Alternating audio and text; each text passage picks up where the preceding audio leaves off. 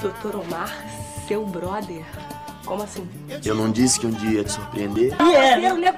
Ô, Ellen, peraí, peraí, peraí. Isso aqui é uma prova, é isso? Eu vou falar com o Omar pra ele te dar uma promoção aqui na Luxus. Tô feito na vida, agora vai dar até pra gente casar. Eu vou te dar tudo que você sempre quis. Casa comigo, Ellen. Sempre te amei, Ellenzinha.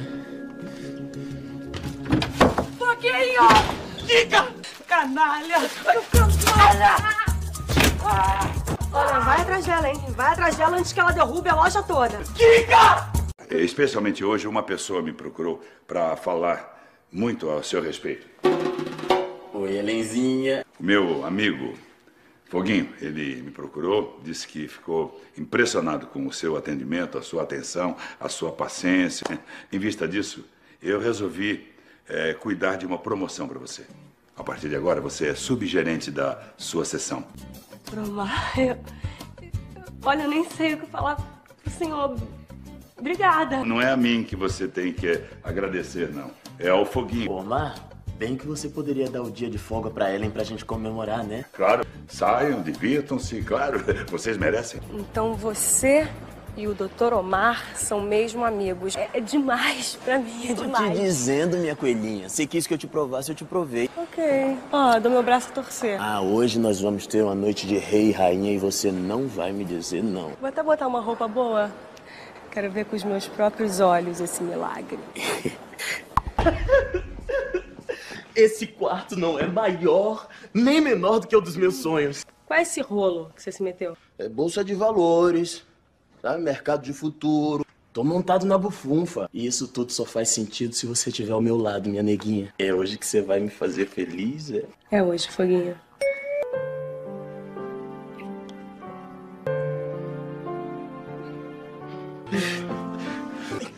Não, não, não, não, não para, Foguinho. Que pressa é essa?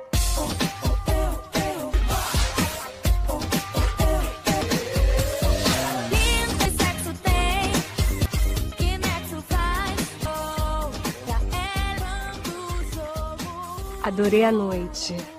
Você foi demais. Ela tá na minha. Experimenta essa lagosta ao termidor, tá uma delícia. Eu sou funcionária. Eu não posso comer aqui. Você pode fazer o que você quiser, minha neguinha. Como é que foi ontem à noite? Você não lembra? Ah, mas eu queria ouvir da sua boca. Foi maravilhoso. Você sabe pegar uma mulher de jeito, Foguinho. Ó, então se prepara, porque hoje seu fogão vai te pegar de jeito e vai te fazer. Peraí, fogão. Aqui não. Você. Oi, Elenzinha. Casa comigo. Agora eu vou te dar tudo que você sempre sonhou. Imagina só. Nossos filhos correndo pela casa. Pedro Henrique, Carla Sofia. Melhor voltar pro meu trabalho. Depois a gente se vê.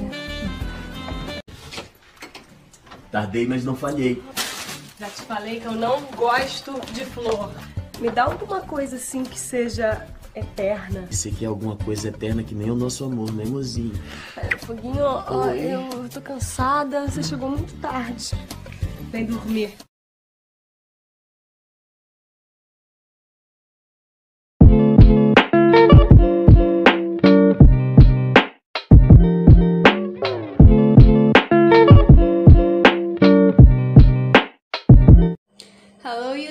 YouTube, pessoal, vocês estão bem? Eu tô bem, graças a Deus, porém com um bocado de sono, mas eu já fiquei ontem sem postar porque eu tava descansando um bocado, tava muito cansada com algumas atividades.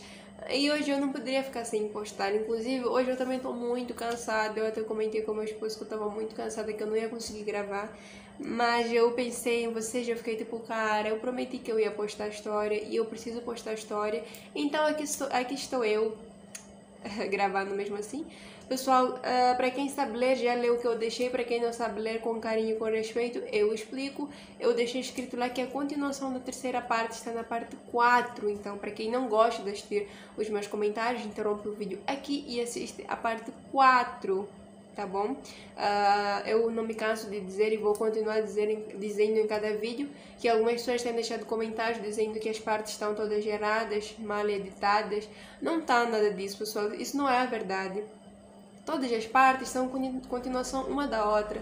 Por exemplo, a- onde terminou a parte 3, continua na parte 4, no início da parte 4. É por isso que eu sempre digo, vocês não precisam assistir aqui o momento do react, vocês podem assistir aquilo que vos convém, que é a primeira parte do vídeo, e aí a parte do momento do react vocês deixam, podem ficar à vontade, não é necessário que vocês assistam o momento do react. Por isso que eu não, não entendo quando vejo comentários de pessoas, ah, você fala muito, você interrompe toda hora. Eu não interrompo toda hora. Eu interrompia toda hora na modalidade antiga de, de, de edições do vídeo, porém eu vi que não era prático porque algumas pessoas não gostavam de me ver e eu optei por comentar somente no final para dar a possibilidade dessas pessoas não me assistirem, assistirem somente a parte da novela e o resto poderem deixar. Porém, algumas pessoas parecem que não entendem, tem problema de percepção. Eu não sei mais de que forma posso dizer isso, por isso, olha, cara, Estamos aqui, eu vou continuar só com o meu trabalho. E é isso. Pessoal, antes de eu começar a reagir, eu queria pedir que vocês se inscrevessem no canal, deixassem o vosso like, me seguissem no Instagram. O link tá aqui na descrição do vídeo. Queria também pedir que vocês se inscrevessem no meu canal, pessoal, Cowboy. O link tá aqui no primeiro comentário. O cara tem vídeo novo hoje. Então ajudem-nos a crescer, se vocês puderem dar aquela forcinha, nós ficaremos muito gratos. Muito obrigada. E é isso, vamos lá, né, gente? Ah, já falei pra me seguir no Instagram? Já, acho que já. Cara, buguei aqui do nada, mas acho que já. Pessoal, na parte anterior vocês viram todo aquele bafafá que aconteceu. Desculpem. Tô com um pouco de sono, desculpem. Na parte anterior vocês viram aquele bafafá que aconteceu. Do nada, o Foguinho apareceu lá, rico, com dinheiro. Aí ela ficou meio tipo, Oi, tudo bem? Sem entender nada. Porque, cara, é foguinho. Nada dava certo na vida do foguinho. Tipo, tudo dava errado pro foguinho. Aí o foguinho aparece do nada, na Luxus, comprando tudo que ele queria e ainda por cima sendo hã, BFF de uma pasquinha. Gente! Nossa, eu lembro muito do Churros, de- daquele, do canal do PK, né? De piadas. Gente!